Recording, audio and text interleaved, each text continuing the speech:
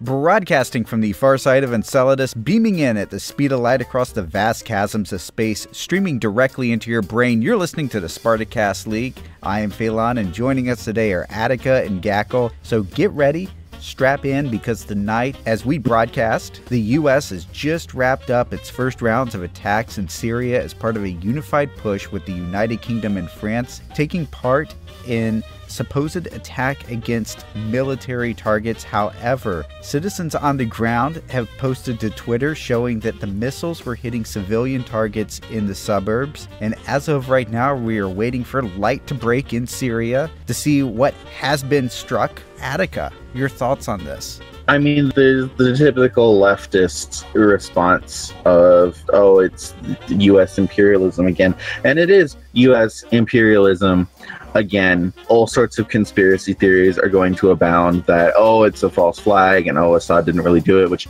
I mean, I guess makes sense because what would he have to gain? But Syria is such a clusterfuck of a proxy war within a proxy war that I mean I mean who knows? But we did the same thing in Vietnam to justify a war. We did the thing, same thing both times in the Gulf and Iraq to justify a war. And there's really just there's no need. To me the biggest impact is there isn't even anyone to root for. It's not even a somewhat socialist state versus the United States. It's just two bullshit capitalist empires having a proxy war in this area. I, I will say it, that this happens has happened the exact same time last year. Every time Assad gets too close to winning, all of a sudden there's a chemical attack, and all of a sudden we strike Assad's airfields and set him back which I think only tells me so much that the US has a vested interest in keeping this war going as long as possible, that no one's actually trying to win it, that it's just about prolonging the confusion and disorder in Syria as long as possible for profit, and so that no side gets a permanent hold on it. Uh, I mean, it has a really strategic position. Like,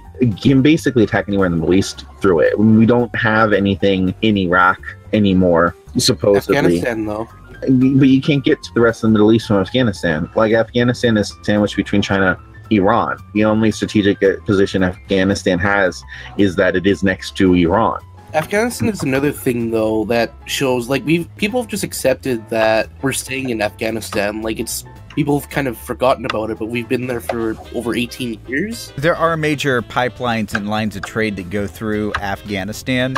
That was actually one of the very specific countries that were targeted in, in Project for a New American Century, which was a Bush based think tank that was around in the late 90s, early 2000s. They wrapped up in 2000, uh, and they actually wrote about how they needed to take control of Central Asia and that they needed a new Pearl Harbor event in order to, to do it. And of course, you know, you get a year later, you have 9 11 occurring just on target. Everyone's going to scream at you, oh, you're a conspiracy theorist, all this stuff's bullshit. Even though, like, time and time again, it's proved not to be bullshit, but it's also been proven not. It's not necessarily a conspiracy per se, as it was just I, I don't believe, for instance, there were bombs into building that kind of kind of stuff. I personally believe that maybe we had some foreknowledge and we just through negligence kind of let it happen. Plausible deniability kind of situation with that.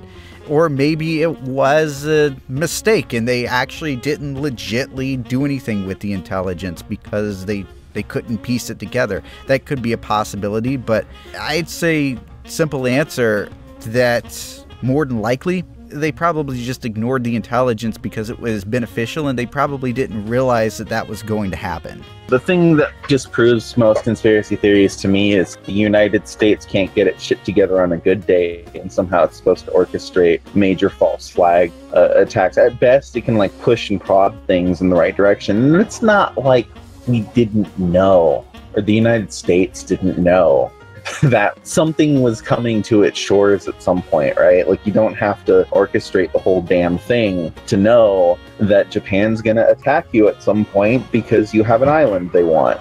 In Syria, in this war, I think this is probably going to be a yearly thing. Like I said, this happens anytime Assad gets too winning, and he mostly wins with his air force. And so we attack his air force and set him back a little bit so that we can prolong the war and continue to profit off of it and continue to keep it a mess so no side gets a permanent foothold in the Middle East. Because if we can't have it, no one can have it. That's until one side decides to get impatient with the other, things escalate, spin out of control, and next thing you know, you are in a hot war. And that could happen. That's one of the things that we're afraid of happening with China is just things accidentally escalate because everybody thinks they're playing chicken up until the point they're not playing chicken and then next thing you know you have a hot war on your hands. And then everybody's wondering how we got there. Well, so Ooh. you see, the, the thing about capitalism is that the bourgeoisie control it, and the bourgeoisie are not going to destroy the world because then there's no more profit. If there is a hot war, it's not this be all end all end of the world war that everyone worries about.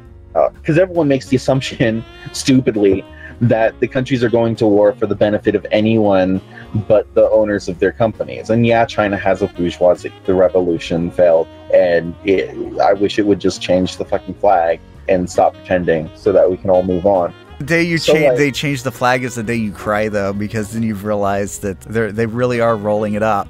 But at least then we can begin again, you know? At least then we don't have to ha- continue to get hampered with the argument about when is China going to return to socialism. The kind of war that would happen from this would be like bullshit missiles fired at ships somewhere in the Pacific Ocean. The, the- like Russia's retaliation is not going to be this assault on the mainland United States. It's not even going to assault anywhere in Europe, right? If they're really bold, they'll take out some positions that we have in Syria with US troops. We're not going to escalate it into a war. The army considers those people expendable. And they don't want to let the world know, oh, hey, by the way, we've had boots on the ground in Syria the whole damn time, right? So, because we do, because there's pictures, because, you know, I follow stuff that happens in Rojava. And we most certainly have a small army presence there, mostly of special forces, quote, teams that are able to do extremely targeted attacks and get extremely specific things done. But it's not like we have like a full deployed standing army there. So if Russia's really bold, I think we'll attack one of those. But most likely, they're just gonna probably wipe out some rebel group that we fund and call that the retaliation. Where do you think this is going with Rojava in this whole situation? Does this change the equation with them? I think that the longer the war carries on, the better it is for Rojava, just strategically, not making any value judgment. Just strategically, because that means they're left alone the most. Assad can't roll his tanks up there and put an end to the show. They have minor U.S. support, mostly because the U.S. doesn't want Turkey to get into its business. They lost Afrin, but it took them like a month to lose it. So Rojava's military is incredibly competent. I think that that taught Turkey that if it really wanted to take all of Rojava, it's looking at multiple years of engagement and occupation with an incredibly hostile native population. Afrin was kind of Rojava's farming territory, which is why, you know, the accusations of genocide fly because now, like, they're, of course, gonna not have as much food. Just thinking of the point of Rojava, like, the longer that Russia and the US are busy within Syria, like, the longer Rojava gets left alone, the more it can build its industry and the more industrialized it can become. And then the more socialist ish it can actually be. I've read some stories on Rojava of people in Rojava are selling real estate. I mean, these are American sources, so I mean, it's not like they're going to use socialist concepts. So, like, I take it with a grain of salt. But getting people to move out of Turkey down into Rojava. And of course, the Kurdish part of Iraq has a lot of auto- autonomy and basically threatened revolution in Iraq if Iraq didn't kind of let them have their way. So they're trying to build, they're trying to build a corridor through Iraq to the Turkish part of Kurdistan so that there is actually a flow of troops and arms and there is actually somewhat of a de facto country. Uh, as far as they go, like the longer the war carries on in Syria, the less anybody has the time or resources to really pay attention to them.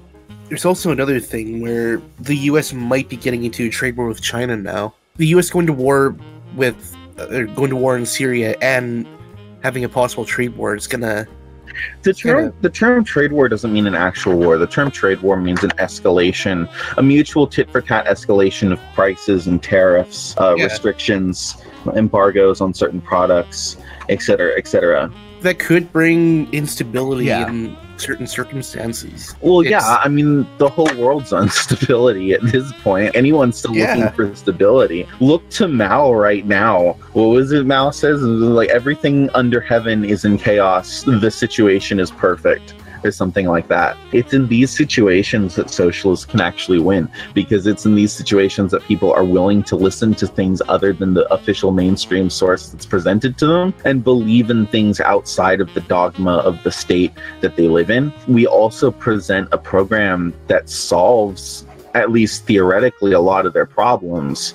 It's just our presence, it's our organization, it's our ground. It's that we don't have someone in the community like Faolan said, of you know twenty five thousand. Every every community of at least twenty five thousand should have a socialist organization within it. It's the fact that we're not organized yet. But look what we've done over the course of the year, right? We're getting there. Yeah, uh, who knows? Is, is it going to be like an informal anarchist thing? Is it going to be the Party of Socialism and Liberation? Is it going to Socialist Workers Party? I don't know, but we're getting there. it doesn't need to be any one group. It we just need to make sure that if it is multiple groups, we're working as a coalition.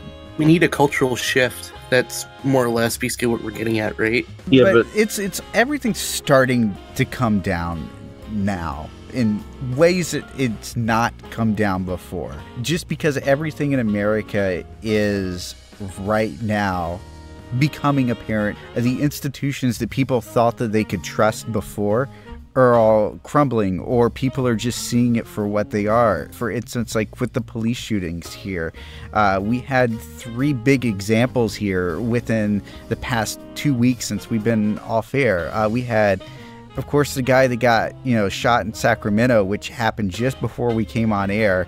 He was shot 20 times in his own backyard because he was holding a cell phone. Then you had the guy in Houston who was a mentally ill patient, uh, or person rather, I should say.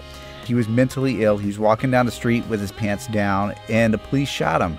And then there was the uh, another mentally ill guy in Brooklyn who was supposedly holding a pipe like a gun, and I saw the pictures of that. Yeah, admittedly, it did look like a gun, but it doesn't take nine bullets to disarm somebody to where they're no longer a threat. It's just a lack of caring on the part of the police and of actually doing their, their duty and not realizing, hey, you know, we did sign up for a dangerous job.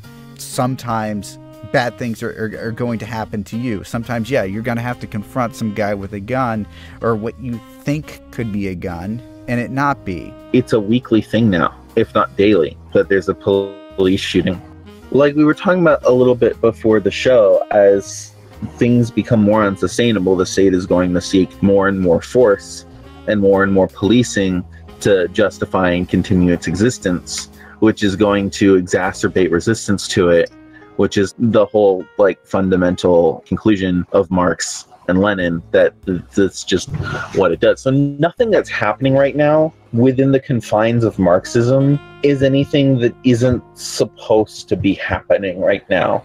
Within Marxism, all of what's happening right now is accounted for. The only thing that isn't accounted for is why it's taken so long. Marx continually assumed, and like every socialist has always continually assumed, the revolution is right around the corner. Engels wrote about a certain a recession in England in the 80s that carried on longer than any of the others. We should clarify that's the 1880s. Yeah, 1880s. Yeah, it's, it was called the Long Recession.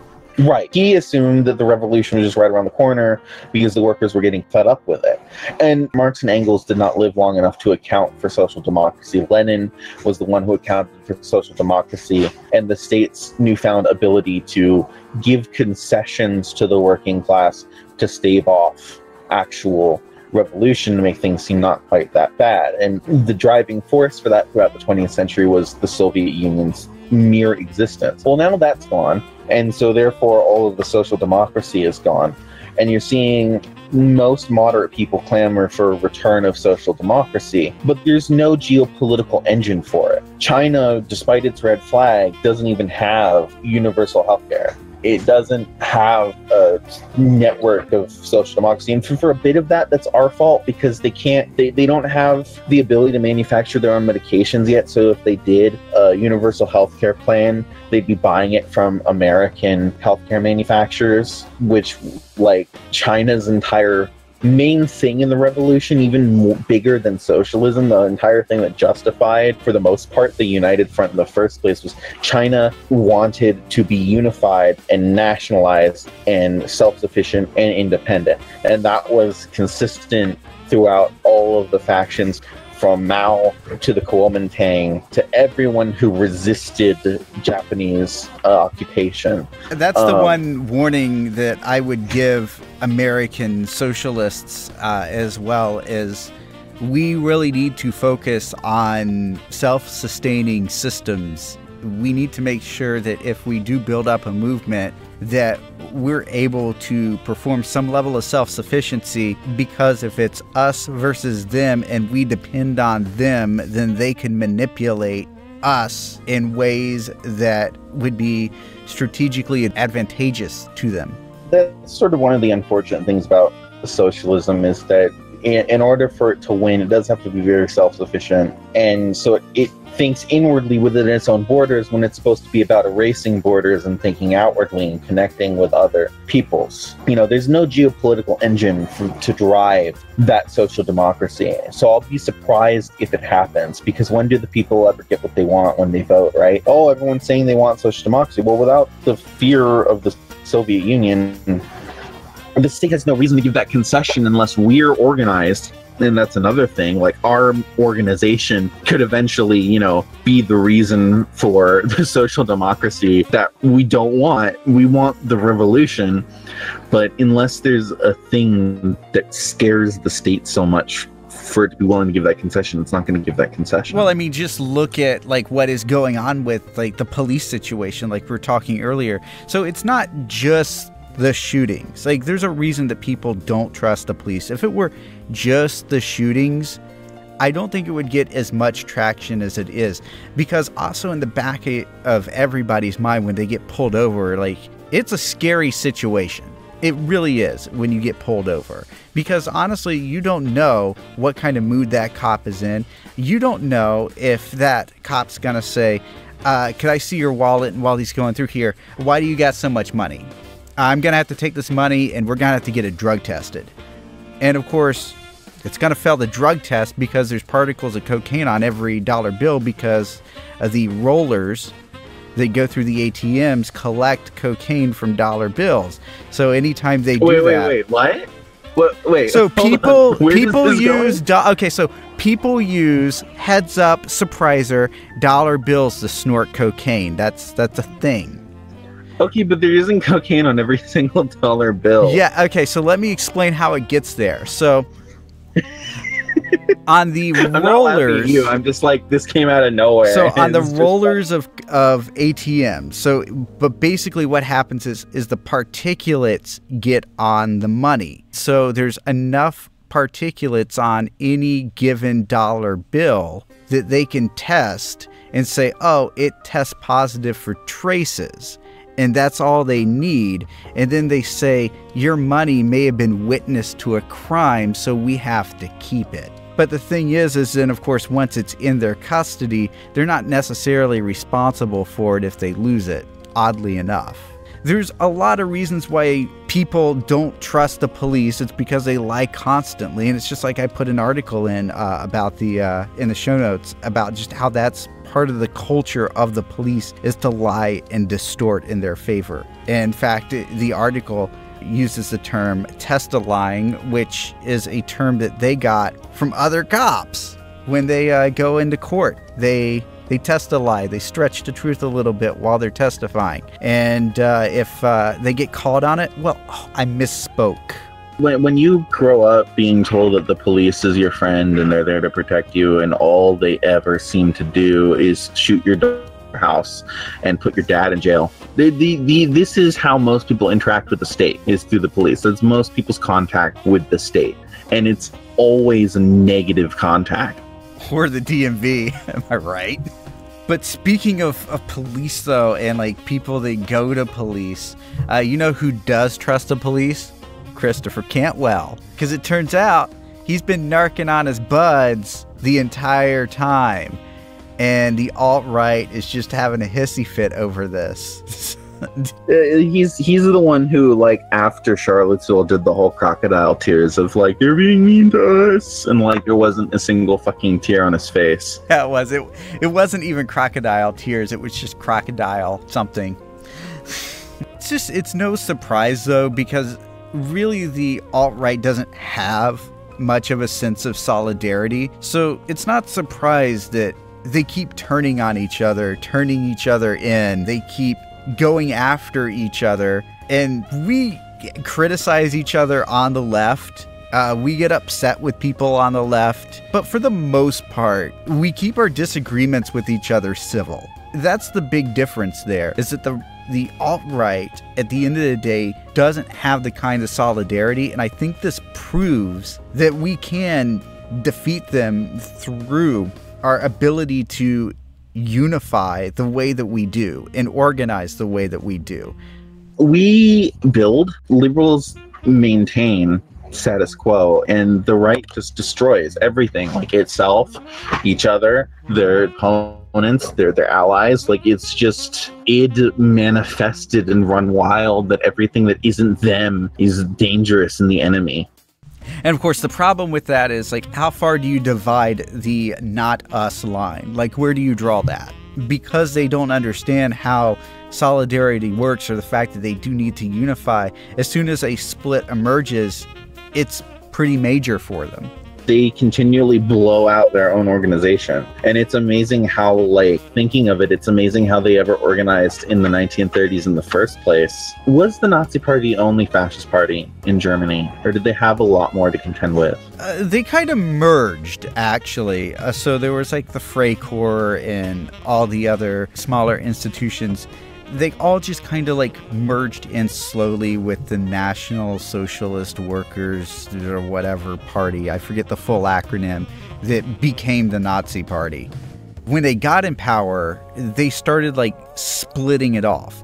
The they took out the SA, for instance, which was like their special police, but it was like a left wing version of the the party and everything. That's where they basically would stick you if you had socialist ideas. And be like, yeah, join the SA. It's great uh, until they long knife you literally in the back in your bunker. And, and they kept doing this. Like they uh, outlawed the even they they even outlawed the German myth, mythological religion that they were so big on pushing to keep Germany pure and everything in favor of like their version of Christianity, basically. Really? I didn't know that they got rid of the mysticism part of Nazism, that like they literally had people crawling all over the mountains of Tibet looking for proof of. There were certain people in the inner party that were allowed to continue with the beliefs, but the outer party, like the like the people, uh, weren't allowed to participate in that. Huh. I thought that that was a constant justification that they continually used. By the end of the war, they had largely shedded that because part of that whole like attitude of mysticism, they, they did kind of realize though that that was like keeping them down from obtaining nuclear weapons because scientists in, in Nazi Germany realized, yeah, maybe we were wrong about this whole magnetic electro universe thing in a way, I guess it was kind of lucky that they were not pursuing that earlier, but it could have got a lot lot differently had they had abandoned it sooner uh, within the inner party. How was it preventing them from from conducting science, the German mythology and stuff?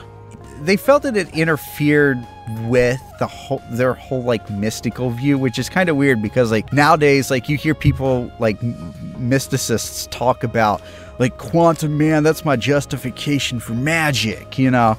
Back then it wasn't so much. So they saw it as as a threat that whole like quantum nuclear kind of thing. That was jew science to them.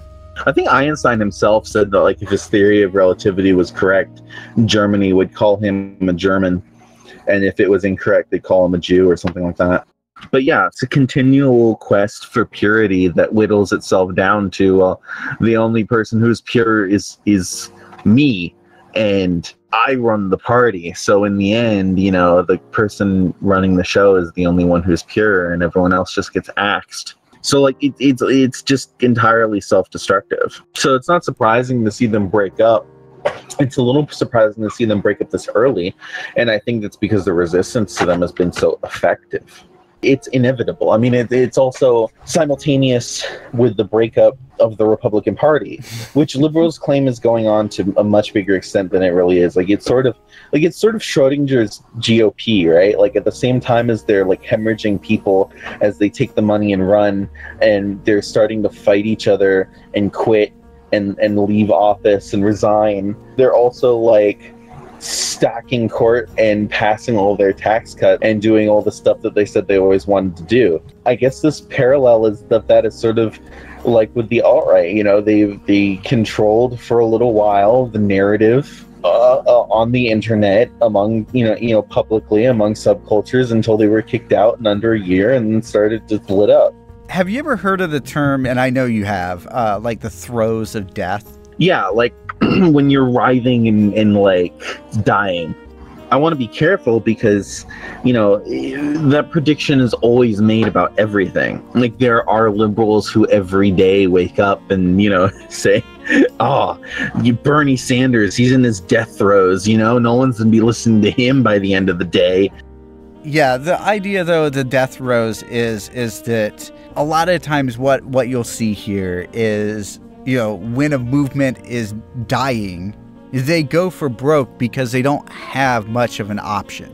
So I think that that's actually what we're seeing with the alt right. And that doesn't mean that we can be complacent about it. That actually means that we do need to be more vigilant about it because an organization in its throes that could also be birth pangs as well. So, like, this is kind of like this whole metaphysical idea, right? So, it could be their throes of death or it could be a rebirth, but we're the ones to determine that by how we handle the situation.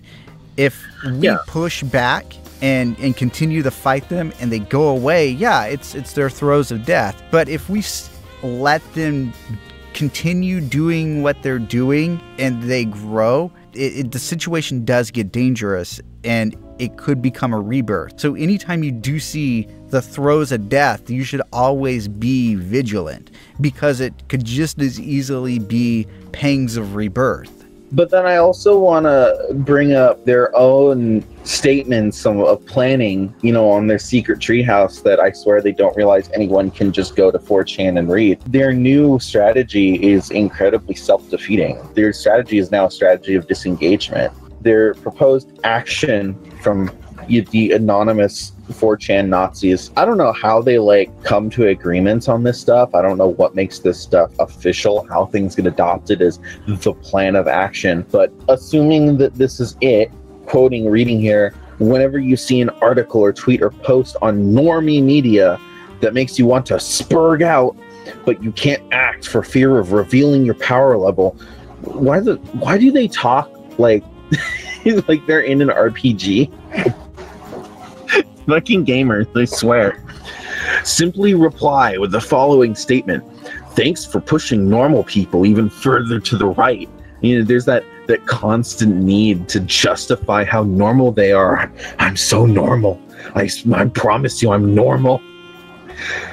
As they try to start an argument, simply keep repeating, as I said, thanks for pushing normal people further to the right to whatever arguments they make. Whenever you see the comment, upvote and like it. So, so they're now they're always always be suspicious when somebody claims that they're normal because that means that they're not.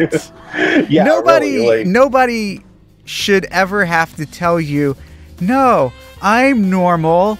What why do you have a problem with me? I'm only holding a knife. I'm a normal family man, run for Congress in the Republican Party. I mean, you know, you know who else was normal and a kind guy, and all his neighbors loved him. was the BTK killer. So their strategy here is of disengagement. They're no longer pushing their point. They're just taking their toys and going home. Thanks for pushing normal people even further to the right. No pushback, no no swastika meme. This is this is a retreat. And this is this is their new strategy. So so they are very very much going back to base to the drawing board without wanting to admit that they're losing ground. And, and this Um, also just makes yeah. it really easy to kind of figure out who's saying this kind of stuff. Because really, all you got to do, let's say you come across one of these people that that is doing this, right? So you click on their little avatar or their username. And you can go through their posts, right? So you're going to immediately see, like, oh, this is strange behavior. Let's see what this guy's about. And then, of course, eventually you're going to get to the Kekistan flags and the swastikas and the Pepes and, and all the weird stuff. And anybody normal, once they see that, they're going to be like, whoa. Right, but so so their entire thing, like the way that they break up They hope the that world, they hope that is it- everybody's dumb enough into- not to research them. they okay for the most part they are, but they assume that much more of the like they, that's why they break their world up to them, the very normal people who are downtrodden, but because they're white deserve to run everything. The normies who God, have lives. term. And girlfriends that they think they should have their girlfriend who they look down upon because they just don't get their obsession with games or whatever. And then there's the leftists who are constantly trying to take everything away from them. And so that's how they break up their world. And they're constantly pitching, constantly trying to normalize themselves by playing to quote normies ignorance. And yeah, there are going to be those who go and click and research, and people are becoming more and more aware of these tactics. But for the most part, from my own experience in like Telegram chat rooms and furries specifically, like furries are incredibly conflict averse. We will justify everything from like stolen art to like outright rape is quote furry drama. So like posting that doesn't really necessarily work because their whole thing that they bank on is that anyone who counters their argument, they have a script that they go by to make that person look like they're the problem for having a problem with it. You having a problem with their swastika and their trolling, you're the source of the angst and you're the source of social destabilization. And if you just shut up, you know, everything will be fine. Come on, we need to get this person to shut up, gavel around all the quote normies to, you know, get, get the annoying SJW to stop talking. So the best thing to do is to know their script and not play into it because they don't know what to do and you don't follow their script. They'll continue like miss your beats on the script they've written for you and they'll just keep going through their side and then they look weird. They're the ones who seem really out of place. They don't know what to do with that. And, like every time I've tried that it's worked because they don't have a counter for it. They don't know what to do. And I'm not saying ignore them. I'm not saying don't feed the trolls. And I'm not saying, oh, ignore it, it'll go away, because it doesn't work either. Not, quote, reacting like an SJW. Their scripts are written for an SJW and what SJWs do. And if you just say stuff like, why are you, this is weird, well, they'll continue to run through their script. And then they look really awkward because it's like they're having a conversation with themselves or like are having an entirely different conversation than what's actually happening. And that's what i found to be the most effective way is to know their script and then purposefully like screw up your lines because they don't know what to do. It's funny when they keep going with the script even after you've derailed it. just posting that picture as a response is not going to be as effective as just derailing their script But it is something people need to be aware of so that they can combat it as well. And I think it is a very easy thing to combat. There's different ways that you can do it. Of course, you could just post the script. That's the most obvious way, but they'll, of course, try to attack it. Even though that's like the weakest defense, it still is effective because people see, oh, wait, yeah, you are kind of doing that, aren't you? But of course, like you could do like what you know, your proposal's a little bit stronger. Is just why are you being weird or derail the conversation with them where they keep sticking to their points because they don't know how to respond. I've noticed that as well, especially on Twitter. They seem to all all the trolls seem to have various canned responses, and then when they can't respond back uh, because you've thrown them off for a loop, Uh, my favorite one is like they try to get me on gun control because I'm reasonably for gun control, but I, I'm very much pro gun and people should have guns as long as they're qualified to handle them. So like that part, So- like like because it it throws them off like like I have a gun and I know how to shoot it, right? All of a sudden they're like, oh. No, you don't because you're a liberal. And I'm like, no, I do. And you're totally wrong. Don't call me a fucking liberal. Yeah, now we have to talk about about gun control, right? And and I I participated in those marches. I think we may have talked about this on another Yeah, show. yeah, we did. We we don't have Yeah. to talk about that gun control. We already got it covered, bro. We do have to talk about the just born court case though, with the peeps. Of course, you guys know I love my peeps. I'm talking about little marshmallow things. It's nothing more I love at Easter time than to sit down, eat a whole box, take about three shots of whiskey, and throw everything up in the toilet in about two hours. When peeps are up to evil bourgeoisie peep bullshit, there's no there's nothing good in the world. something else that made me sick to my stomach with peeps besides actually eating them was the fact that they're in a lawsuit right now because they want to get out of their pension program without paying this, the government the $60 million fine to basically conserve existing pensioners' retirement so that the people that are already getting pensions or that are will in the future are supposed to that have already paid into that program will get those pensions and get their money back that they paid in. They're literally trying to opt out of that, and this sets off because it's a court case. It'll set precedent to where other companies can do this. So just literally just breaks the entire uh, American retirement system, uh, especially for people that do have pensions, which of course isn't a lot anymore, but This is the deconstruction of the 20th century social democracy that was built in this country. And at the bare minimum, to let Dave off the revolution fear of the Soviet Union. And I'm kind of surprised it took this long. Like, having now a leftist understanding of geopolitics, it's kind of surprising that all of this just wasn't done in the 90s. In 1989, the wall comes down. Okay, that's it for the Soviet Union let's cut social security now. Okay, the Soviet Union's gone. Let's just like ramp it up and start getting rid of everything. I'm really surprised it took this long to deconstruct and to just totally destroy all of the New Deal programs that were put in place. But yeah, like it's just another episode of the bourgeoisie being able to do whatever they want because they have a government that has basically sent the message: do whatever you want. Well, this isn't Um, even like the disassembling of the welfare state. Pensions aren't welfare. This is a system that you pay into.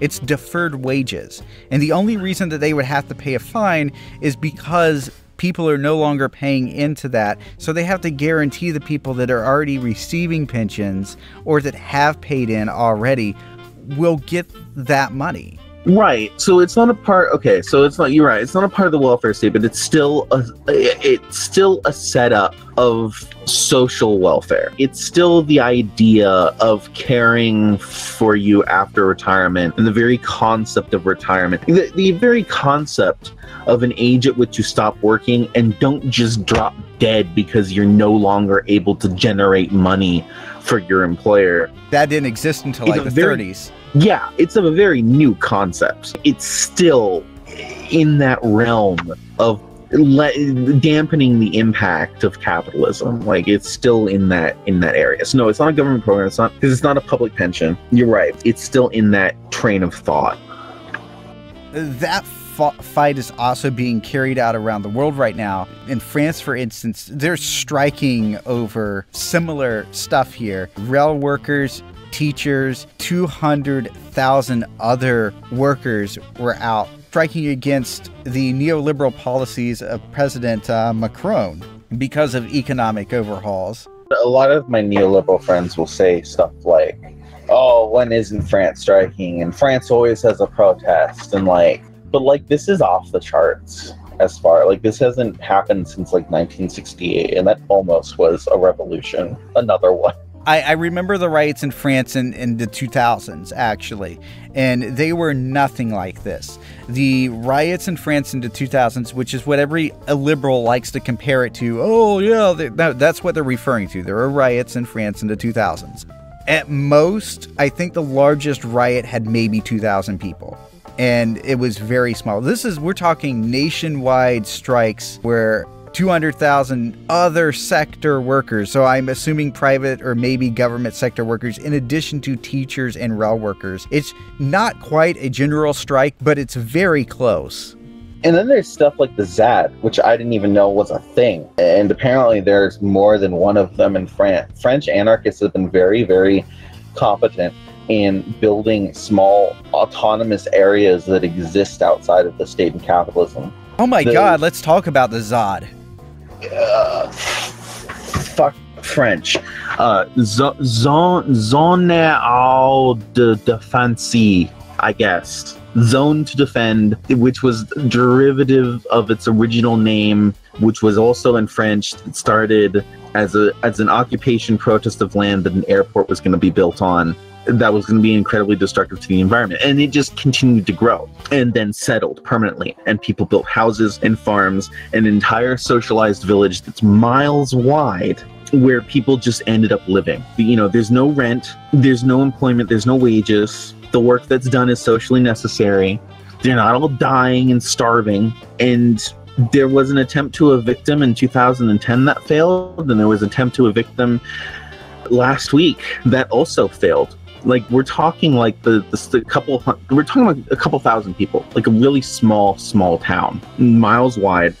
The media really downplayed it as well. The only res- resources I could really find in English, they called them eco warriors. They said there were about 250 present at, at basically the riot is is what they insinuated, but it was more of a battle actually because there were tanks there. Yeah, I mean, it was 24,000 police. I'm sorry, not 24,000, 200, uh, 2,400 police and some tanks. Not like, you know, army tanks, police tanks, like the six wheeled anti riot armored cars. L You know. Yeah, with turrets on them to evict uh, what was at that time a couple hundred people who had stayed. And they lost ground for a few days, but it took days for the police to take that ground. And, you know, I saw a picture of a pile of hundreds and hundreds of tear gas canisters, and the police gave up and they rolled home. And, you know, so France has been very, very effective in building this because this isn't the only one, the only area like this. Like there are a couple, not exactly in the same way. France this year has really turned up the heat on any kind of like leftist autonomous sort of mini secession area where people just go and do their own thing. And, and it's like it's all in french news and i can't read it. So i don't know as much as i'd like to know about it. But like the defense of the zad and simultaneously i'm gonna bang on the left here a little bit the lack of knowing what it was. And yes i know i just said i didn't even know what it was but like i got in on it and i learned what it was and i followed it and I knew what was going on. I found videos about it. You know, sort of the lack of even just interest in it on the left among like chat rooms, which is probably a bad barometer. It was kind of disappointing. If if we're going to be socialists, we should attempt to live socialism. And that means we should know about the struggles going on in other countries as best we can, which is complicated by the fact that most of the time it's not reported in mainstream media. It's reported in local and independent media in languages that we can't read. So I get it. There should be an effort made. This really goes to show what the left is capable of if they applied themselves. Because this was a defeat at the hands of the French government by anarchists. Yeah, and like 250 anarchists, and they didn't even have to use guns. Like as it was going down, I was like, God, they have to shoot back. They have to shoot back. You know, like this isn't like a protest, right? Like these are their farms, and they've lived here for a decade. A decade, this thing existed, and these are their homes, and their homes are being rolled over by tanks. Like, what would you do if you were a farmer and Trump started rolling tanks over your farmland? Like, yeah, at that point, shoot them. Like, I'm gonna get called an evil, violent leftist, but this isn't a protest where like you're just shooting at police. Like, they're rolling tanks over the farm and the house you built and have lived in for 10 years. And they didn't even have to do that to win. They just literally had to outlast the tear gas and make every inch of ground as frustrating for the police to take by building flaming tire barricades and spikes in the road. And I think what probably happened was the operation too expensive to continue. Right. So the Um, message to the left is we need to quit packing up and going home in America, and we need to start fighting back, pushing back, making Well, okay. it hard for.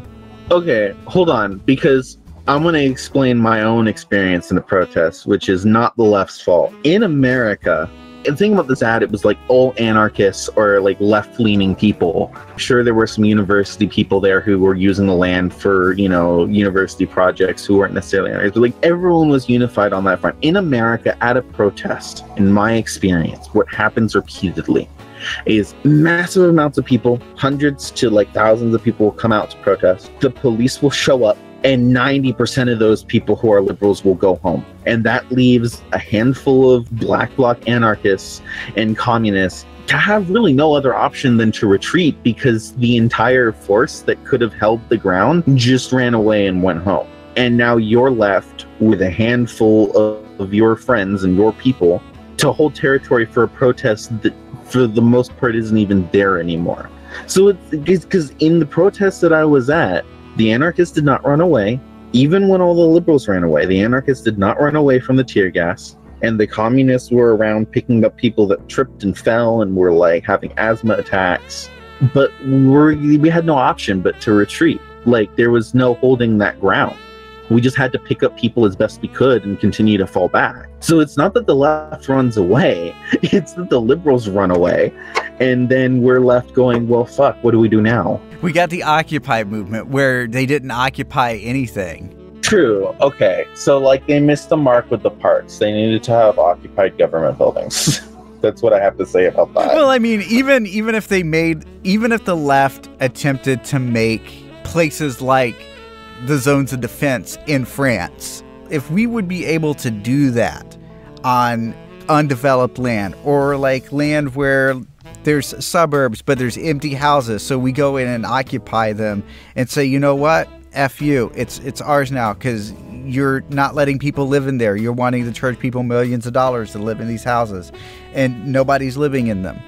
If we started doing stuff like that and then made it expensive for the police to take action. Let's say like we did this and then okay, the police show up and let's say like even if we did lose, we could make it so destructive for them that losing would be a pyrrhic victory for them. We could literally just burn the entire thing to the ground as we're leaving if, if we if it were necessary to do so, just so they couldn't profit off of it that's how Russia beat Napoleon. They just retreated and burned everything that made it useless. It's protracted people war, actually. So let's say if you did this, but if you did it in the countryside where they have to extend the supply line out and then you attack the supply line, that's called protracted people's, people's war. That's a, a Maoist tactic, actually. There's a term for that kind of victory. I don't know. How to, it starts with a P. Fire. Uh, fire. Uh, Pyrrhic. Pyrrhic. Uh, so so Pyrrhic. yeah. So uh, a Pyrrhic victory is where you have won, but you have also lost. So that's not the point of People's War. That's not really to do that. Uh, in a People's War, though, it does make the victories Pyrrhic for the imperialists because they're they're so costly to do because you're attacking their supply lines. And eventually they may get to a point where they can't even win anymore. Or if they do win, it's like, well, what have we conquered? We've conquered Ash. And for imperialists, they have a constant amount of people at home that they have to keep duped and doped and then provide a justification for taking their sons and daughters off farms and sending them to die, right? And the most common justification is nationalism, but when you've conquered Ash, well, there's no justification. Our great nation that now controls this other nation of useless land. Well, I mean, people are upset people. when they found out what we were doing in Afghanistan with the poppies and stuff like that because their sons and daughters would come home and they would shoot up with heroin uh, or they saw it in their streets with their neighbors and everybody's a junkie and they're wondering where all the heroin's coming from well it's not really coming from afghanistan because ours is synthetically made but we're flooding it into to russia doing the same thing to the russians with afghanistan people are rightly upset when they see that we're over there defending that and their people their neighbors, sons, daughters coming home or whatever are, are dying from this drug that, even though it's not maybe the same supply line, but it's the same thing that they're they're dying for in their communities. It makes battles incredibly hard to justify. one of like the easy, one of the most common things used to turn public opinion against a protest is, oh, they're breaking windows and attacking Starbucks or whatever. Well, okay, if you're burning down your own tents and stuff, then like, who's like, it's not as easy to turn that into turn public opinion Right. against a protest.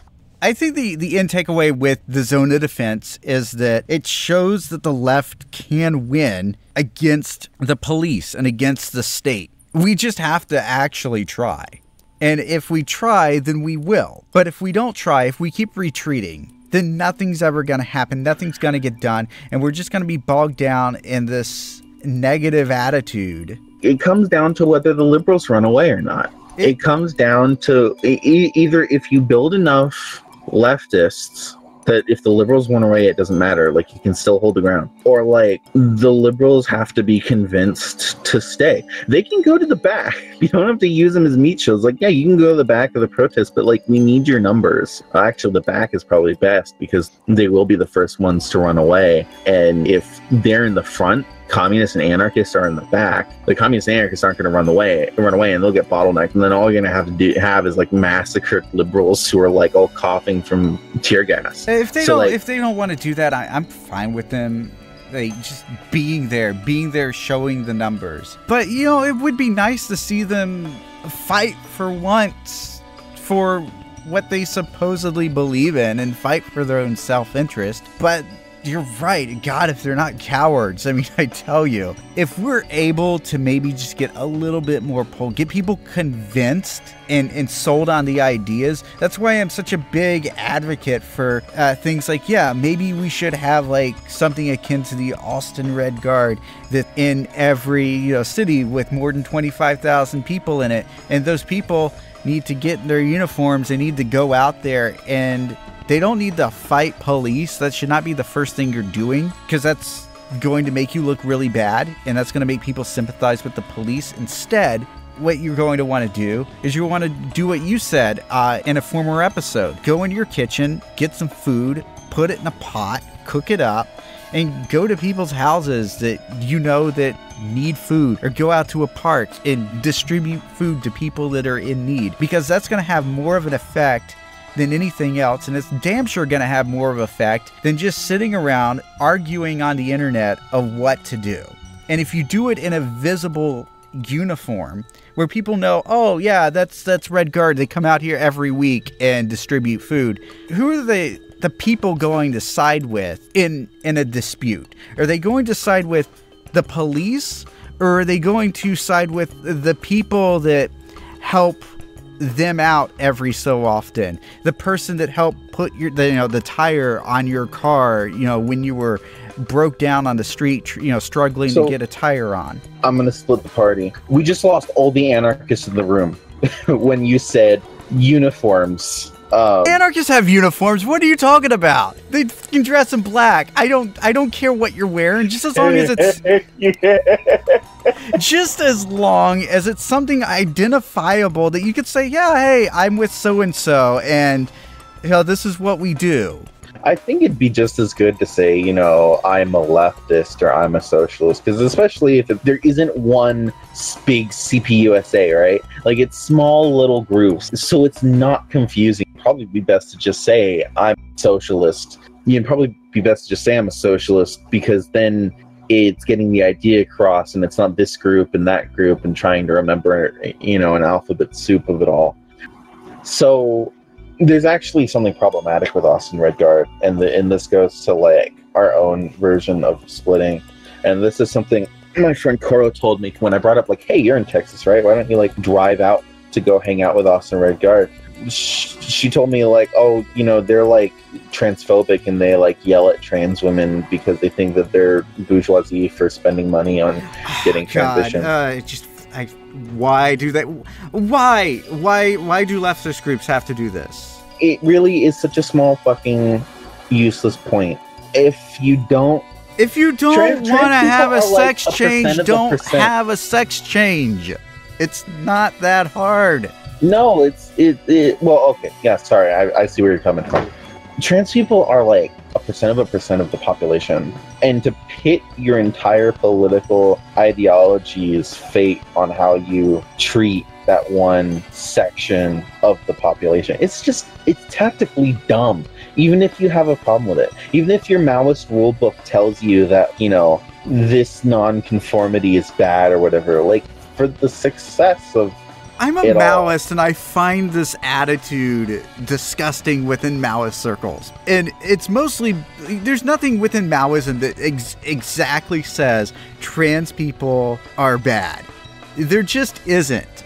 Maoists need to get over themselves. And I think the only reason they do it is because, like, the freaking top two Maoists on the internet right now are freaking transphobic as heck. And you know who I'm talking about. And I don't have to mention their names, but they're getting called out. wait, uh, Don't Jason, say, no, don't say it. Jason the Hedgehog, Yeah, the hedgehog.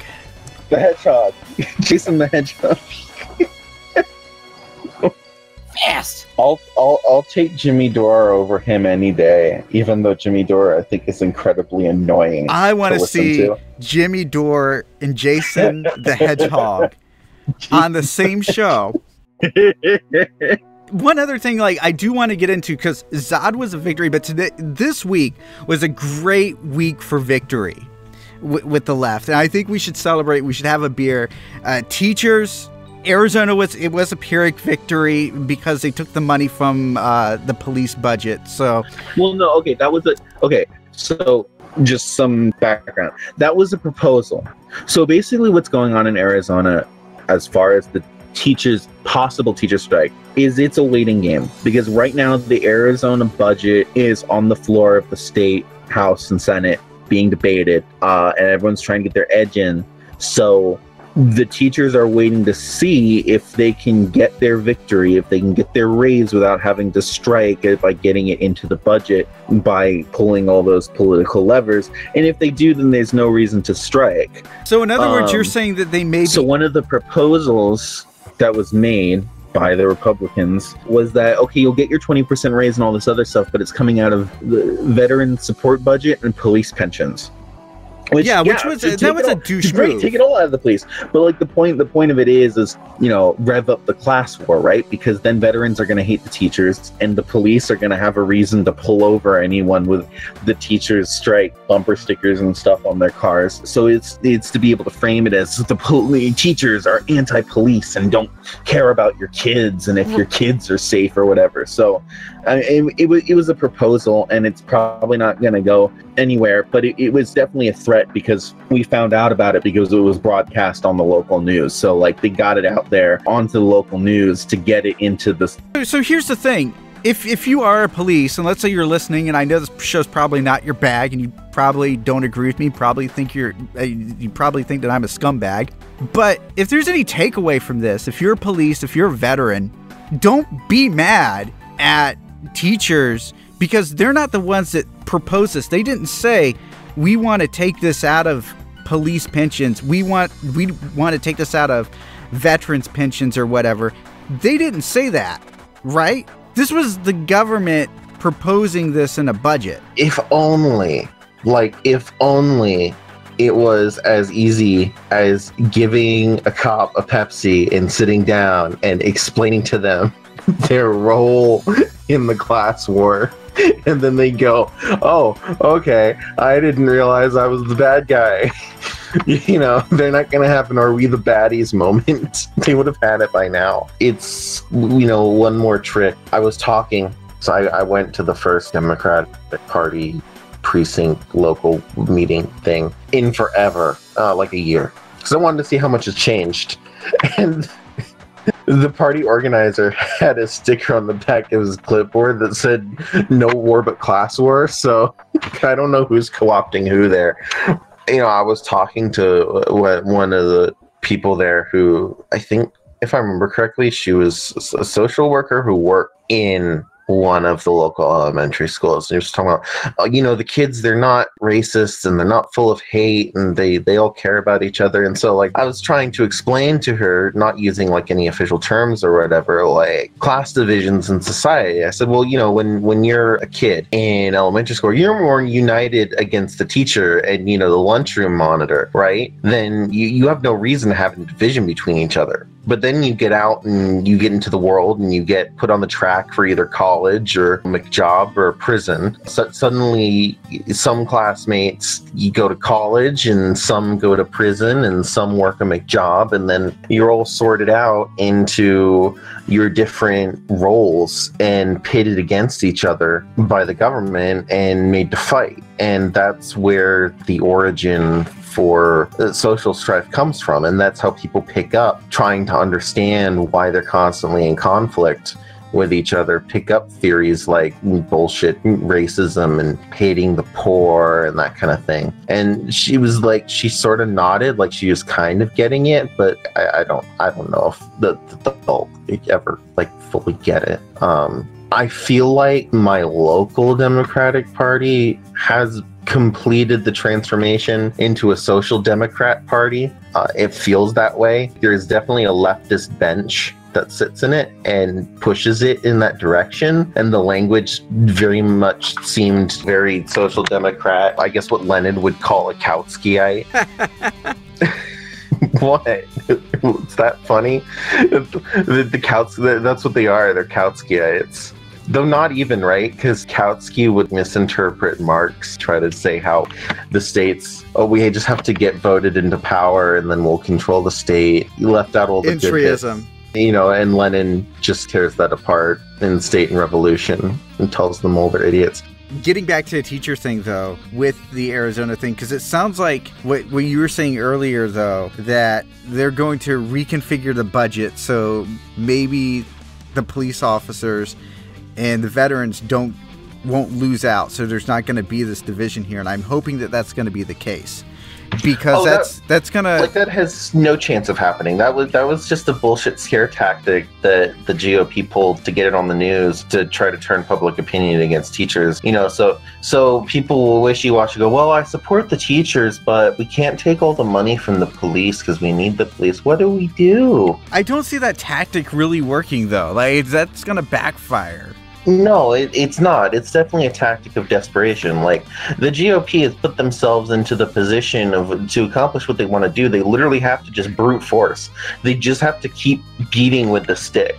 The state has no more carrot. That's what's different between now and the 60s. In the 60s, the state had a carrot. It had Medicaid, it had Medicare, it had civil rights, it had something that it could give. It had social democracy. It had a, it, it had a carrot that it could give instead of the stick, and then society took the carrot. Uh, and now today, there's just no carrot. It's just stick and stick and stick, and that's always, always, always long term a losing, a losing strategy.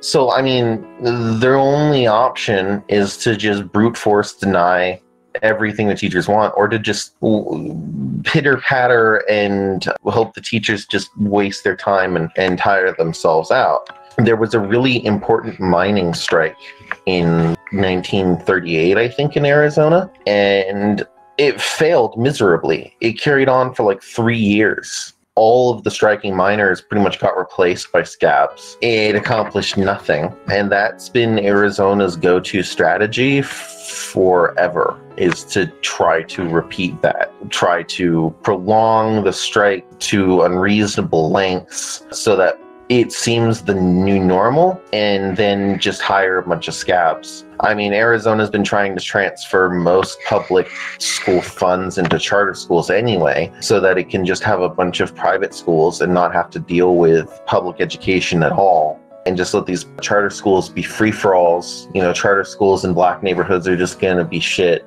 Like the 60s South level of nothing and then you know all the nice charter schools in Scottsdale are just going to have every option available. It'll basically um, be the Florida education system.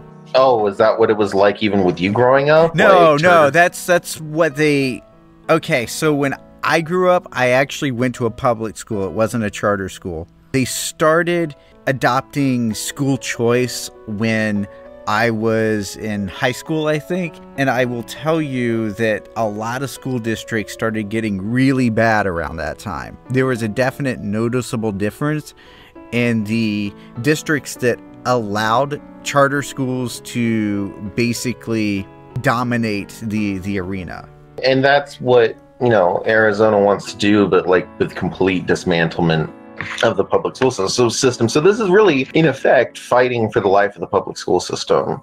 That school, the, the school that the Democratic Party meeting was held in, by the way, like it totally felt like a prison, like prison lunch line, clock on the wall, like drab gray walls. like Foucault is entirely right. Aren't schools supposed to be these like bright, cheerful places that help? Yeah, it was not. Oh gosh, it. Why am I just not surprised? Society is multiple levels of prison. There's no freedom. It's just different. You have to be told that you're free. School it, it, feels like a prison and then you get out and it's like the, the, most free you're able to be is in your house but even then if you're renting you're just paying for this cell that they can get you out at any time. And it works like the next step down because you can't leave when you want to leave and you can't do what you want to do. And then if, you know, you you you press too hard against that, then you go to a real prison where just everything is controlled. So so the teachers are, are really kind of in a fight for public education in its entirety. And I'm not really sure about their strategy with the state budget. Like I understand not striking because then you have the threat of striking to hold over the state as they put together their budget knowing that if they don't give you what you want you're going to strike and then they have a problem it's obvious the gop does not want to give them what they want though well, they need to um, write the budget. They need to let them write the budget. Let government do its thing, and then once government fails them, that's that's when they need to do the strike because if they do it prematurely, it's going to look bad. The yeah. other thing is that on top of that, they need to make sure that, like for instance, with Oklahoma, they won their demands, but the only reason they, the only reason that they striked in Oklahoma the way they did was is because Oklahoma hasn't raised their taxes in like Oklahoma or West Virginia. Uh, to the extent both, the problems were very similar.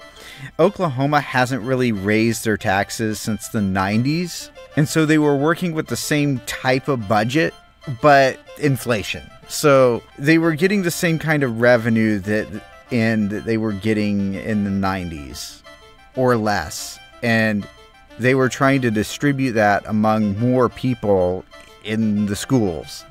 So that's why they striked is because they didn't have any any other outlet to do so. So they had already exhausted all of their options. And right now, Arizona's in the process of writing their budget. They have the opportunity right now to correct the issue. So the best option is let them correct the issue. And if they fail at that point, that's when they need to go in and, and strike at that point. But doing so beforehand only puts them on the defensive. The only thing about that is that it's really, you know, now now they're in a game of bargaining where they're going, they, they, they could possibly be subjected to bargaining away parts of their demands for concessions that might not even make it into the final budget. So, you know, they could be talked down from a 20% raise. So, if you accept a 5% raise, we'll give you that. But, you know, we're not going to give the, you know, the increased budget for, I, I don't know exactly, I don't know what their full demands are, but I know it's, it's, along with the teacher's raise, it's fully funded student programs like after school programs. They, they could be forced to negotiate away their demands. You know, if you accept 5% raise then we'll fully fund the after school care program that kind of thing. And it, it is a wildcat strike. Like there is no teachers union in arizona. Um, i mean that's both good and bad because there's no union representative screw up the negotiation but there's also that makes it easier to buy out important people in the movement, which I'm sure is something that's already been attempted. So it just it opens it up to them bargaining away and accepting lower concessions. God, if Democrats don't just love to do that, it seems. go in Democrats with, with are the great demands of... and walk out with nothing and say we won. Democrats are the party of low standards. before we get on to our next story, though, uh, we do got to do an ad read here. We actually have a sponsor here for the network now. So, we have a sponsor. yeah, we, What? we do. So So, what kind of fucking capitalists are we? uh, hey, they said they'd give me money to do the ad read, so we're doing the ad read here. And I, I wrote this. Who is this? What? I, I wrote this especially for them. They they came. They said, "Look, we want you to, to sell your product on, your show." I was like, "Yeah, I'll take your money. You work hard for your money, day in and day out. Hauling steel 48 hours for the boss man. So when you are running over protesters in your truck to please Porky's desire for ever expanding profits, make sure you do it in a Ford truck. Ford, because God knows you can't spell Chevrolet. So our next story in line here, speaking of just like state incompetence here, is Michigan.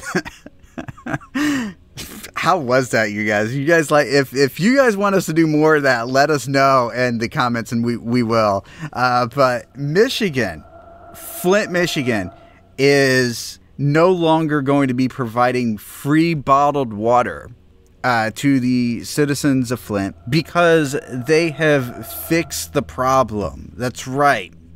50% of the city's water pipes are now considered safe. Who was okay? What company was providing the water? You're going to love this. Nestle. Oh yeah, I've heard about. Uh, okay, so this is a part of the reason why everyone's angry at Nestle. Yeah, so Nestle owns a facility that is, I think that they're taking water either from the lake or from the ground nearby, and they're basically bottling it up and selling it like they do with all their, their other bottled water. So that's why these people are upset because these people had to drink out of the nasty Flint River while Nestle got to tap in to the source that they were previously tapping from. Do the bourgeoisie just assume that they can just shoot everyone when it comes down to it? They can just murder, you know, like anyone who has a problem with their shit to fly so flagrantly in the f- face of everyone. Do they just assume that when the time comes, they'll just be able to mow everyone down with no opposition? Do they I not would- concede I that they themselves put their lives on the line? that. I, honestly i i kind of at this point think that they think they're immortal.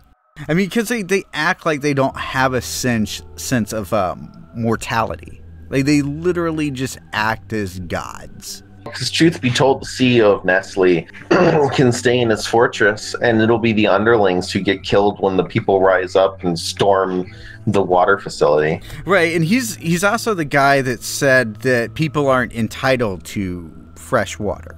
Like he literally said that. He, he doesn't care if he owns all of the world's water supply and everybody has to pay him exorbitant amounts to get water. He would love that. He, he would love it more than anything. I mean, that's their whole aim, their whole goal, and they they must just assume that they have the guns to back it up, or you know, they must just assume they either have the guns to back it up or the news facility to keep everyone dumb and convince that it's the best thing for them and that there's no other way. But it, it just yeah, with how amazingly easy it's been to form physical street opposition, let alone like which what I've seen in a year of just, you know, pushing local democratic parties towards social democracy at the very least. if everybody uh, pushed as hard as ZAD did before then they would have a serious problem because the police basically retreated they refused Right, but like the fundamental difference with the ZAD and every other protest is that the protests are convened by people who show up at a certain time. There, there's no, uh, That's a liberal American protest. Yes.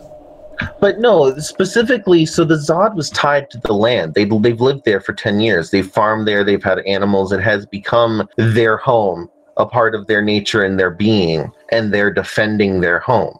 Just as one would take a gun and defend their farm the you know they owned by law or or not or it's the government rolling tanks over your home versus a protest where you're convening at a certain point.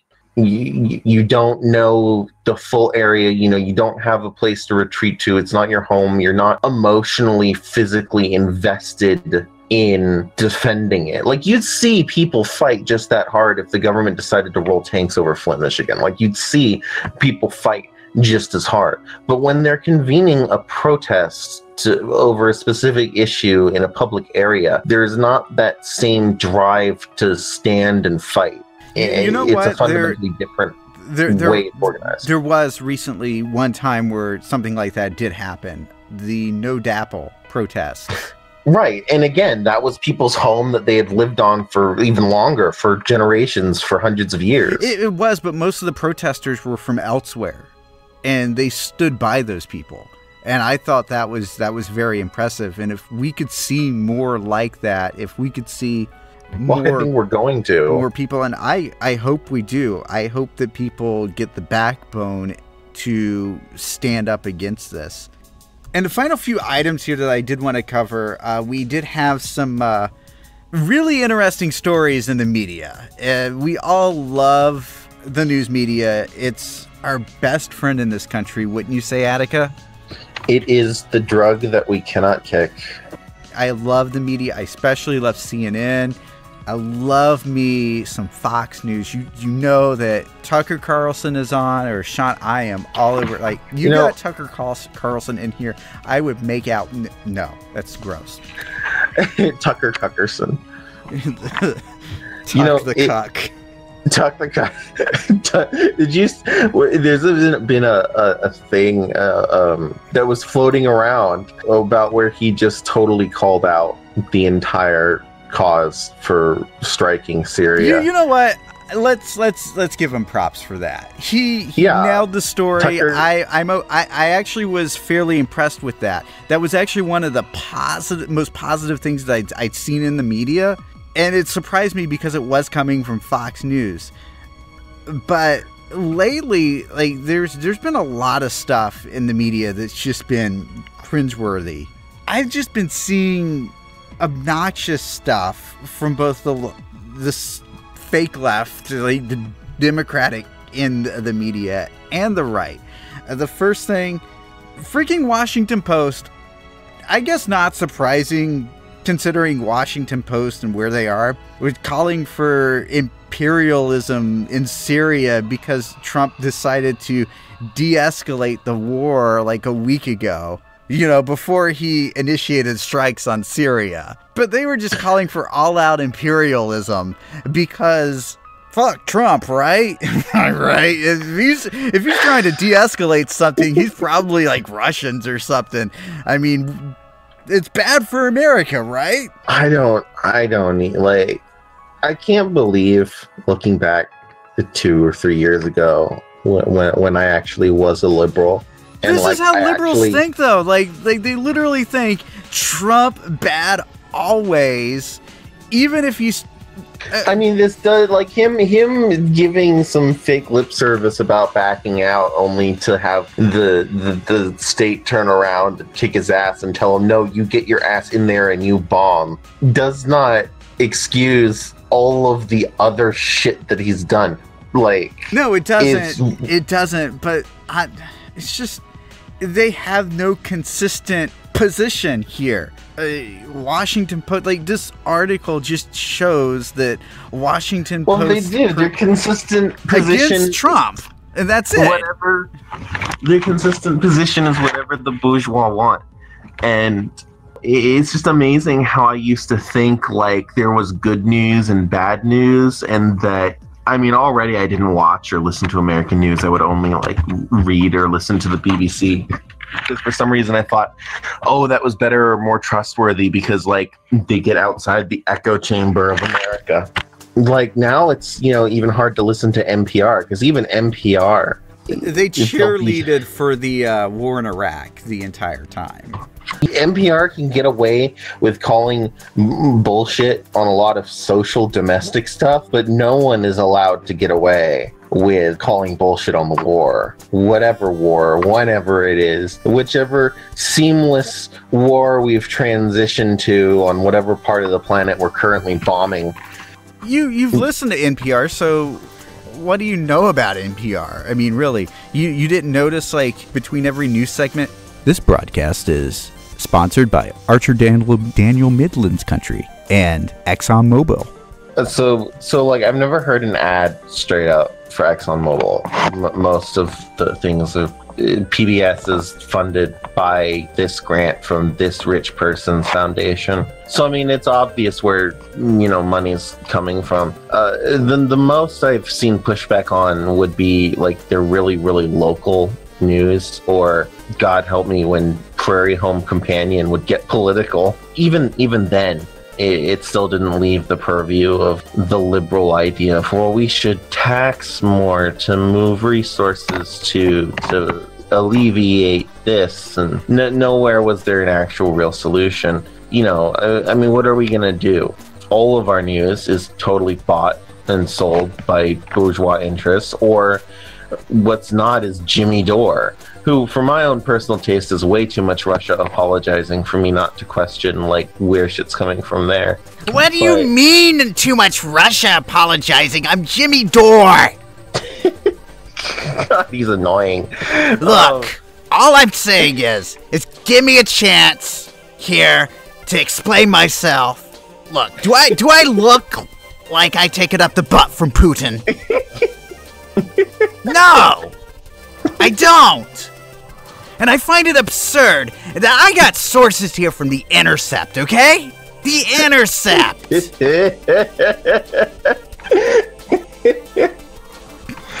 so, so you either have American bourgeois news or you have YouTube news, which all the funding is super sketch, or you have direct from the horse's mouth on Twitter and other social media, which then just fucking gets spiraled out of control and nothing's confirmed. So the entire idea of there being a followable narrative is just dead.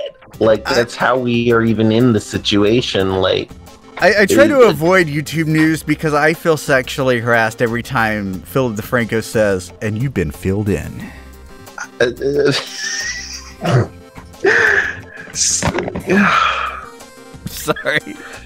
Whenever when everyone's narrative becomes personal, there's no such thing as truth anymore, and that. I, I don't I don't have an answer to that, right? Like I find myself even as a communist still reading BBC, who's able to read it through a lens and be able to say, oh, you know, yeah, they're running a, a, a shit piece on Xi Jinping this week because you know I know that there's a trade law about to drop, so you know we need to shit smear them. But what the hell are you gonna do? Where is the news coming? How do you find out stuff? What the the Trotskyist newspaper? Of course, the one that they're gonna drop thousands of dollars in, according to Drill. That was a, that was a fake one. Yeah. it was my favorite one, but it was fake as heck.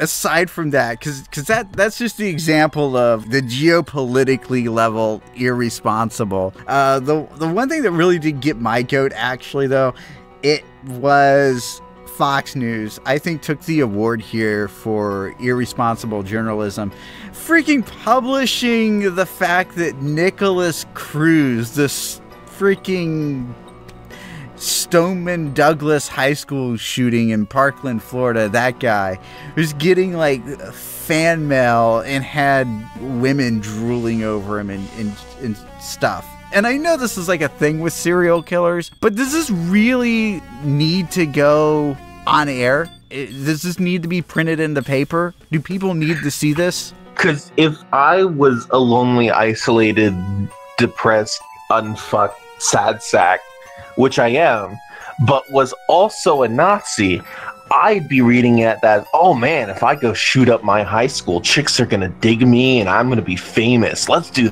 that. That sounds like a good idea. Exactly. That was my point. Exactly. I was when I saw the, that I I about wanted to throw my computer just off the desk. I was just like, really? Why would you do that? Fox News, what's wrong with you? Well, I mean, you know, they have a vested interest in another school shooting happening because then they get to talk about evil Democrats who want to take away your guns. I would really hope that Fox News really isn't that evil. I, I understand that like I, I don't really have a high opinion of a lot of conservatives, but I would hope that they would know basic right from wrong. They demonize the kids. They literally perpetuate conspiracy theories about high school Okay. kids who survived the shooting. I, I, I, guess so. I, you, you, you have a point. It's just looking at this and, and looking at how could you run with this? Like, this is borderlining potentially. I, I could see lawsuits happening from this. Like, if somebody were to say, oh, so and so in the next school shooting was inspired because he read this article.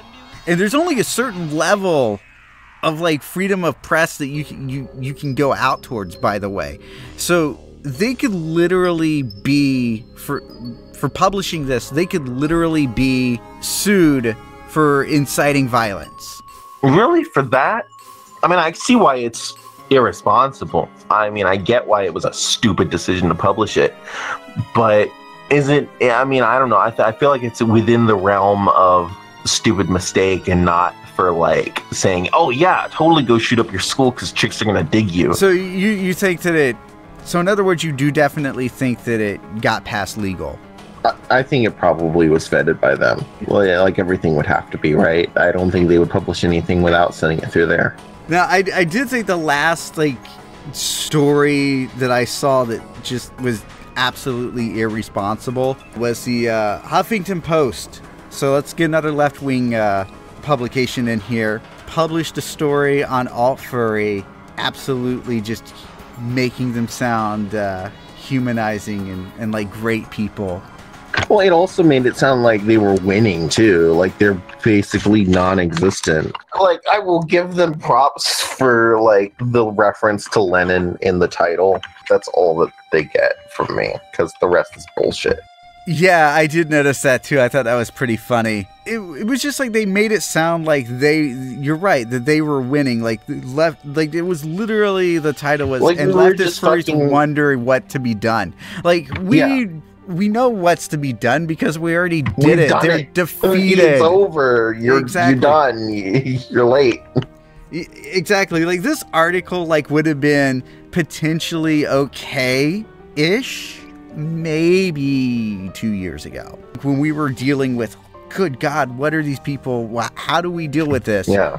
But we came up with a strategy. It worked. Things got really brutal for about a year and a half, and things have pretty much died down. These people pretty much aren't allowed at cons anymore. So the thing, so the specific thing about them is that they're not. they- are unable now to project force. They can sit in their little Nazi chat room and talk about the master is all they want, but they they are not capable of organizing to project force and plan a swatting or an attack on a convention or even a personal one at this point. You know they can't make a new discord without it just getting you know destroyed the next day and have to make new discord accounts. They just it, it's their ability to organize they're just dismantled. So they're still there. They're still old buddies and they talk about how great it is to be white. Len still has his alt furry Discord Twitter that he Hester's still uses to it. like shout into the void because no one's really listening anymore. But they can't do anything. pretty much they've been neutralized. So the art, the title of the article, even though it's a reference to Lenin, it doesn't make any So, sense. like- it, it put it made it put you us in a bad the, the, this article was published, you know, with no input from anyone who's been fighting alt furry. And alt furry calls anyone who who doesn't like them leftist furs. By the way, like there are plenty of liberal furries who hate my commie guts. Who also like went to battle against alt furry. It's not Nazi furs versus leftist furs. It's shitty ass neo Nazis versus everyone w- with a sense of public decency. they just call everybody liberals. Yeah, liberals are communists, are anyone we don't like who's not us. Or they just become chickens and they go, oh, right, cocks, cock, cock, cock. Cock, cock, cock. I'm waiting for like an alt right persona that's a chicken that just screams cuck all the time. Like, ca- somebody could draw that for me and post it uh, so that we can we can retweet it. We will do that. So just That's your new persona. at some no it's not mine but I, I could just like see that like, and it's like drawn on like like in casters like crazy style too Let's ask Cass. if yeah let's, let's we'll name that it. We'll name it. We'll name it. Clucker Cuckerson. jeez there we go so uh if you guys want to do that just at one of us and we'll retweet it few last items though for today because I, I did want to end on a positive note here we don't always we don't like to leave you on a downer here Positive. Positive Positive. Oh, I got I got one better for you, but we're gonna keep it at the end of the show. Uh, voters in Alaska actually shot down an anti-transgender bill uh, in one of the most conservative districts in the United States. Isn't Alaska somewhat weirdly in a liberal concept socialized? Doesn't everyone from Alaska get like dividends? Of, Yes, they do. So, interestingly enough, the most con- one of the most conservative, socially conservative states in the United States is economically the most socialist state in the United States. But from a social conservative standpoint, though, that is that is very interesting. That if they can't get this bill passed, it's probably not going to pass anywhere else.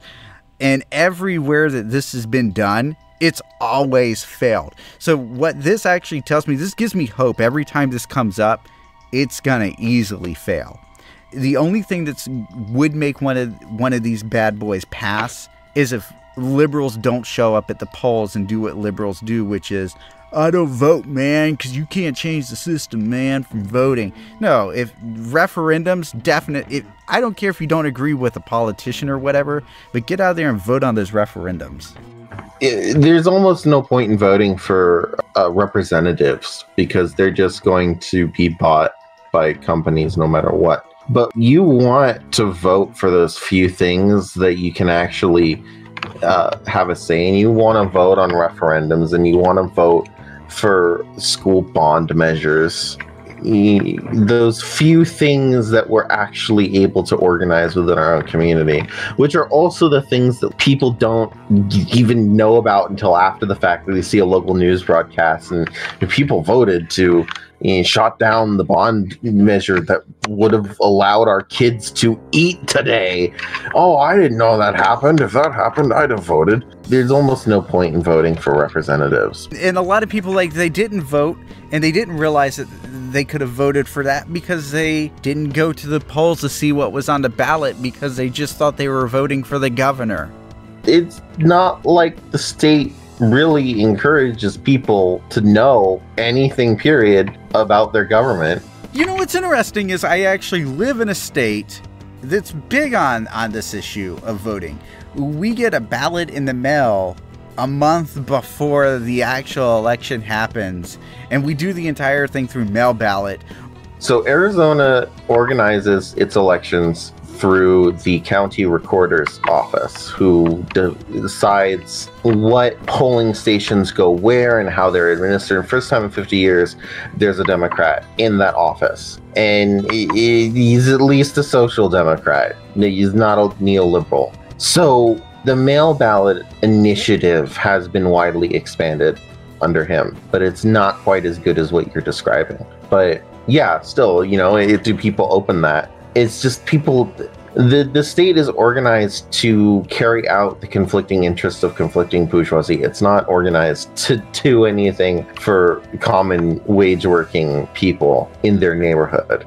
Uh, right, they make the it few- harder for working class people to vote basically. well, and and what do they give us to vote on? The few times we're allowed to vote is mostly about schools, but then it's mostly about bond measures to keep things funded. It's not like people get to choose what's taught in their schools. That's not voted on at all. One of the only ways Arizona can get anything done is through a ballot initiative. And it's only there because it's protected in the state constitution because it was there as a prerequisite for statehood. We were not going to become a state unless we got the ballot initiative ability protected under the state constitution. So it, it's an untouchable thing. So the, the rare times things jump forward in the state when minimum wage is raised, pot will become legal in this state probably in 2018. It's all done every time through ballot initiatives.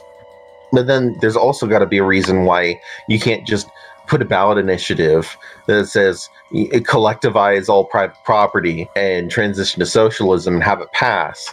And that's because they even rigged the ballot initiative process by requiring certain amounts of signatures in certain places. They actually tried, one of the ways they tried to attack the ballot initiative recently was they wanted to make it so you needed uh, the same number of signatures across all legislative districts which sounds okay until you think about like well okay arizona has a lot of desert in which like the population is like two people per square mile. And if you need as many people as many signatures of their signatures to get something on the ballot as you do from maricopa county where Phoenix is, well, then it, it's kind of impossible. And that fell flat. But, you know, there's still a lot of ways that stuff is controlled and people's ability to choose is still really constricted to what's most often a, a non choice. If it's roads that you're trying to fix, though, you could always just fix themselves instead of doing a ballot initiative which is exactly what anarchists did in Portland, Oregon. That's my home state, you guys. Uh, did you see this? Um, I know that they went and they filled in potholes.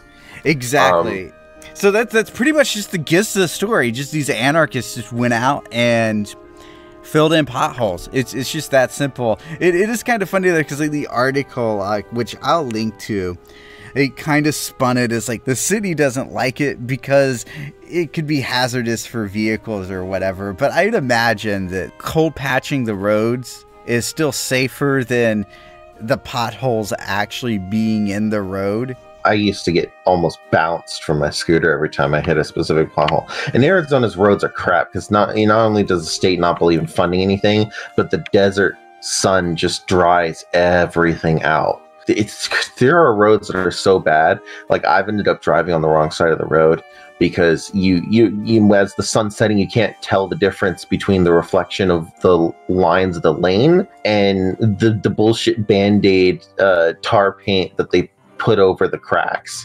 And so, so in lane, other words you're saying that you guys need a lot of anarchists. Yeah we need a lot of anarchists in phoenix and they should all come here. Fix the roads. Come the anarchist road brigade you know, well, you know, we're, we're always complaining like complaining on the internet. Well, instead of complaining on the internet, you go out and fix some roads. Maybe make some uniforms, you know, have a group that does it. Get to know the people in your community and everything. That's how you win people over. Uh, the, the who the people are going to side with, they're going to side with the people that help them, not the people that evicted them from their homes. And that's that's the thing that people need to understand. They're only going to side with authority if they see that that authority is legitimate and the way that they determine that that legitimacy is not necessarily through government but through actually who was improving their lives. When it comes There's to the choice of of of choosing between the people that serve the community and the people that has always had the gun pointed at them every time you know just waiting for them to screw up who are they going to side with and I think that's that's the message. So if we get out there and do stuff like patching holes in roads, feeding the less privileged, doing things like occupy medical, whatever your specialty or your calling is to help other people, if you go out there and do it, then when time comes, people will side with you. And I think that's the big take here. Because if you look at it, yeah, we had a lot of crap happen over the last two weeks. But this is also, since we've been doing the show, one of the better weeks here in terms of positive news with the teachers, with the anarchists, with ZAD, and they all have a common thread here. And these were all people that served their communities or defended their communities. And they won because they were integrated into those communities, because they had a stake in them. And that's the message here. I saw once like a year ago, before I was a communist, this Vietnamese grandma with a mohawk and she had her like NVA rifle battalion tattoo on her shoulder and I keep hoping I'm going to see her again cuz I'm like I just how cool would that be? And it was just amazing that I saw this in my neighborhood. How cool would it be to like meet her and meet that person and like how did you do it? You're someone, I'm just a dipshit socialist on the internet who occasionally goes and volunteers at local farming projects and goes to a protest or two a week. You actually fought a war against imperialism. You actually, you know, lived it and, and did it. And and what did you do? Not like the army stuff, not how many American imperialist pigs did you kill, but like as your country was coming together in the north and making this decision and reorganizing your community like how how did you do it? And i keep hoping desperately i'm going to run into this woman again in you know in the goodwill that i that i saw her in and like be able to connect like that. Because that is it is sad because it is a whole lost generation of socialists. Our generation doesn't have any kind of guidance. All those states are gone or revisioned. And what really should have been an obvious conclusion like what they could have just told us in the beginning everything that you just said we should do, we've had to figure out on our own. And I, I is, think that, that we are, we're coming from a stronger point though than the right does, and that's a positive. Uh, because as, as much infighting as, as we've had on the left, we've also had a great sense of solidarity, even with as much as some individuals may want to refuse to work with people or dislike certain people. I think at the end of the day, our ability to come together and reconcile those differences between each other has been greater than those forces that keep people apart. Yeah, in this game, we're the only ones who aren't destructive. I mean, the alt right's just outright purely destructive. A force of destruction. And the liberals are destructive without quite being obviously destructive and at least maintain the status quo. And then the social democracy the bench of the Democratic Party is still destructive in its own way because its answer is to take from someone to give to someone else. And like it's not the main point of communism. Like they always push that oh, communism is when you take from the rich and give to the poor. And uh, no, it's about everyone working equally towards one goal. Yeah, there is like collectivizing private property and taking it from millionaires, but it's not in the form of, of taxing them a little bit more which they're eventually going to find a way to fight back against. So, you know, liberalism is destructive in its own way. But we're the only ones who build anything, who build neighborhoods or fences or, or farms or gardens or networks of any kind. So while everyone else is just going to lose ground, we're the only ones who are going to gain it. So I think that's a positive note for us to, to leave you guys on. But I did want to leave you guys with one more joke because I did promise that I did have something better for you guys at the end of the episode here. So, Attica, what yeah. is a wolf's favorite fruit? Gay foxes. No. An avocado. Oh my god, that's not even. I'm going to bed. Bye. so, with the world in chaos from Enceladus Station, good night and good luck. Everything under heaven is in utter chaos, and the situation is perfect.